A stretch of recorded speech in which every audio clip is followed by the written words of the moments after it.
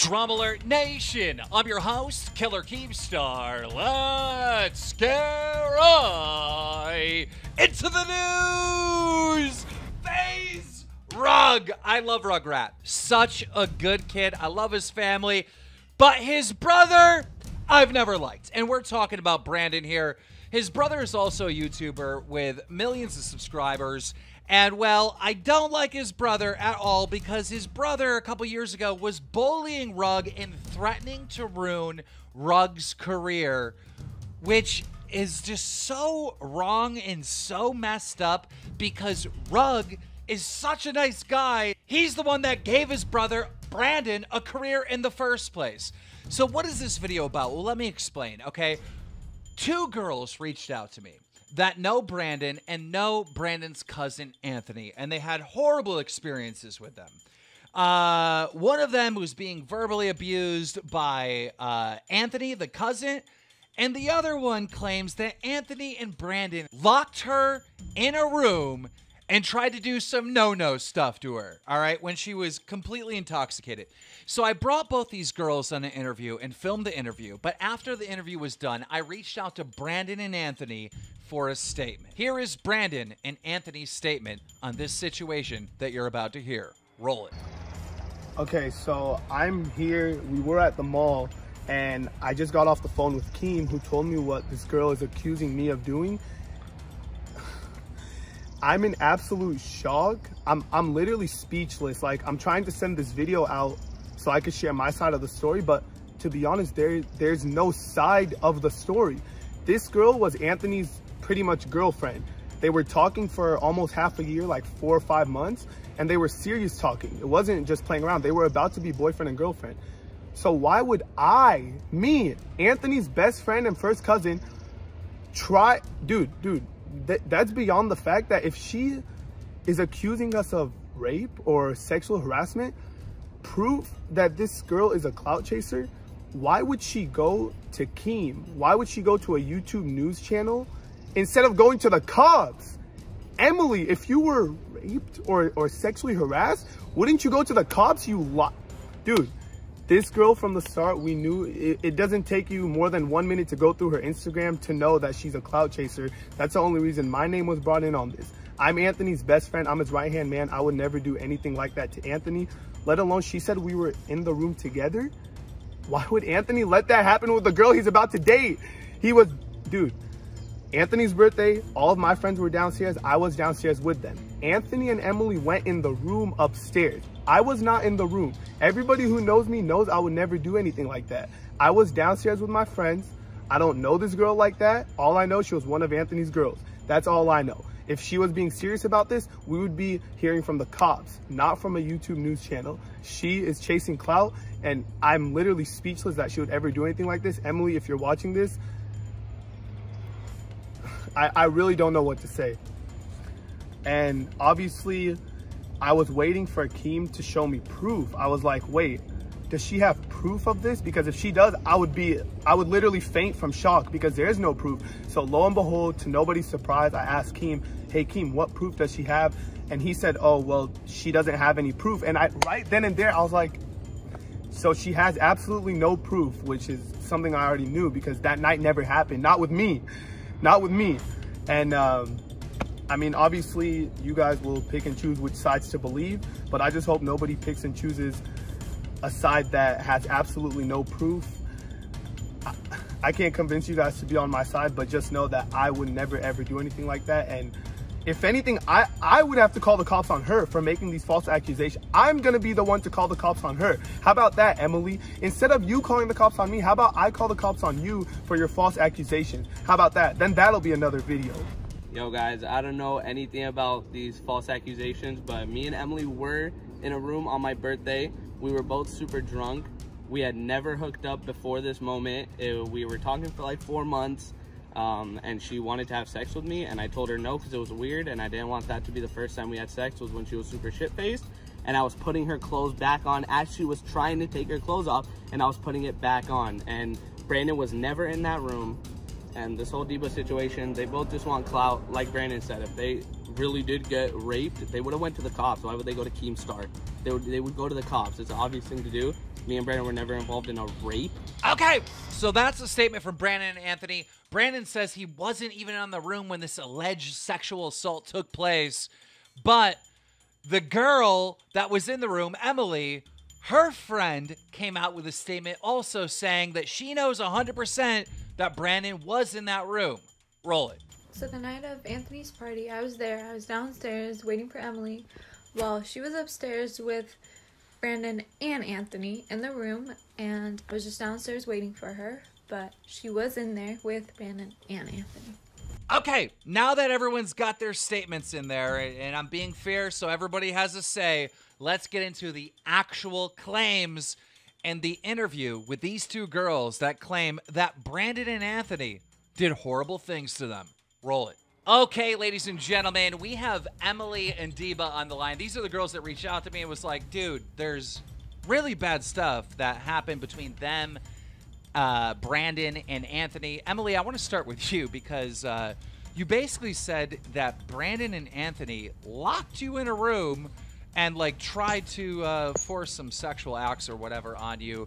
Let's jump right into that. What happened? Like, what was the scenario? How did you end up in this in this situation, and what exactly happened? So I think it was Anthony's birthday we were all at, and I was upstairs with a few of my friends and Brandon and Anthony, and they led me into this room and they locked me in there, and I was extremely drunk at the time. Like I was falling over, could barely talk, like just not in the right state of mind. And then that is where Anthony and Brandon tried to have a threesome with me. Wait, aren't they cousins? Yeah, so it was super weird. I was super uncomfortable.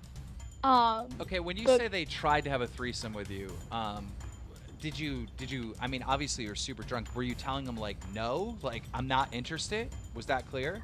yeah, they knew I was not interested in having a threesome with them because they're cousins. Which And and so how far did this this go? Like what were they doing, if you don't mind me asking? so they took off my shirt and they sat me on the bed. They also took off my pants as well. And Brandon whips out his dick, and so does Anthony.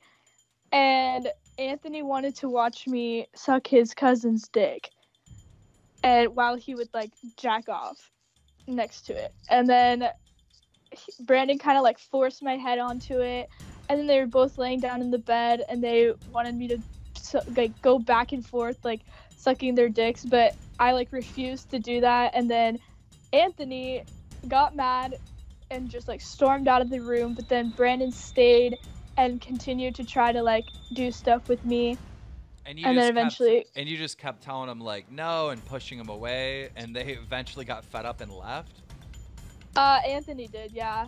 And then I Like- just I was just really weirded out, yeah. Okay, well, thank God you weren't like raped, but you're definitely like sexually assaulted. Like they they they like they just took off your clothes. You're sitting there drunk, you're laying on the bed and they're just taking off your clothes. Like that alone is so fucked.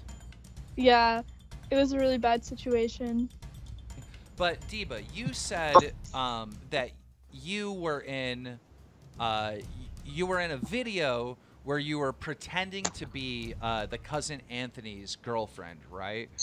And so Yeah. you reached out to me and you said uh, that the Anthony, the cousin, right? He was convinced that this was all real, but it was clearly just for the video. Like, explain what happened. So basically, I came from Toronto and we were hanging out at the mall for the whole day that day we filmed the video. And after we left, they texted me, Oh, come back to the house. I want to film a video. And like, you're going to have to act to be my girlfriend or Anthony's girlfriend for the video. And I went and like, they're just telling me, like, Oh, flirt with Anthony, do all this. Like, just act like you're his girlfriend, doing all this stuff for the video. And then afterwards, when I went back to Toronto, continuously he would DM me, replying to all my stories, like of my guy friends, and saying, that they're all I'm flirting with them and I'm randomly fucking random people and he was acting like we were actually dating but whenever I brought it up he was saying like oh I have no feelings for you this is fake this is that like he would threaten me literally every time Dude, for him if what he is- posted anyone What is wrong with? Do these guys have like little dick syndrome? Because literally Yes. But is there any other girls that you guys know of that they've done stuff to like this? Um, I had a friend who would hang out with me and all of them, and she was 17 at the time, and she hooked up with Brandon. Brandon's a Pete. What What do you mean hook up? Like what kind of hookup are we talking about? She, he like convinced her to suck his dick. And this, wait, did this happen? What? Where did this happen? Like, where exactly did this take place? Like, what state? Did it happen in California? Yeah, I was in California. That's against the law. That's hundred percent against the law. Like, uh, uh, the age of consent in California is a hard eighteen. So, wow. Do you think we could? Have you guys talked to her about doing this interview at all? Um, yeah, I did talk to her. Uh, she's just sleeping right now, but she said she was like fine with people knowing, but she just doesn't want like herself put out there. Like she wanted to remain like she didn't want her name. Yeah, like she didn't want her Yeah. name, but like in in these scenarios a lot of times people on the internet will say like okay why why why why tell the public about this you know why not just file a police report or something like that like um, emily in your scenario i mean like i feel like you could you could like pr- have charges pressed on them for that like so I yeah. I mean, the thing is, like, I've been in the like a way worse situation in my past, and there's just not enough evidence to like support me, because like they could just say like that never happened, or like she wanted it, but I I would need like a full like video and like DNA samples and like everything just to like have some impact on it. So I just want the public to be like more aware and like for girls like especially younger girls to like be more careful around like YouTubers or like people that have like fame. well those two not youtubers there's a lot of good honest great youtubers yeah, I just want I just want the public to be mm, like aware and more like especially young girls to be like careful around them in general. And even even in the video I sent you earlier, that Anthony even said like I don't care about the fans. It's literally all clout. Like delete your Instagram. It's the clout I gave you, and he's using the clout basically against me to say like, oh, I made you. So like I want you to delete it because I don't care about the fans. All I care about is the clout. So even I- that. unbelievable. That's a huge misuse of you know people's fame or whatever. Like that's just disgusting stuff. So, all right, well we'll have to wait to see what Brandon and Anthony have to say about all this. But I thank you girls for coming on and sharing your story here. Thank you for having us. Thank you. Guys, if you enjoyed Thank this, you. if you guys, if you enjoyed this video, make sure you take the time to slap a like on it. And if you're new here and you want to keep up to date on this story, because we are going to talk to Brandon to see what his story is, uh, make sure you subscribe with those notifications on. And uh, Drama Alert Nation now over 5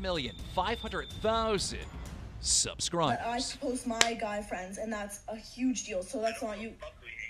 You clearly do. I like. I seen your messages. You send me like every story. Like stop doing this, stop doing that. Like yelling at me for no reason. with my fame, you don't like other guys' pictures. Okay, but why?